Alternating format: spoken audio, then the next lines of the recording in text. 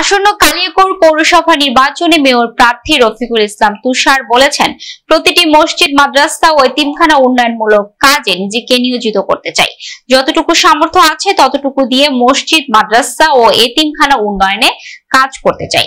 এতিম শিশুদের জন্য কিছু করতে পারলে নিজের জীবন সার্থক হবে বলে জানান তুষার।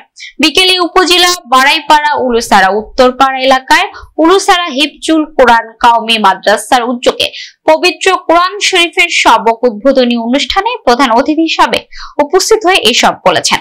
বক্তব্যকালে তুষার আরও বলেছেন, আমি নিজে থেকে খুঁজে বেড়াই কোথায় এমন একটি মসজিদ, মাদ্রাসা, এতিমখানা আছে, সেখানে আমি উন্নয়ন কাজে অংশ নিতে পারি। সাধারণ মানুষ হিসাবে আমি আপনাদের পাশে আছি ইনশাল্লাহ সব সময় থাকব।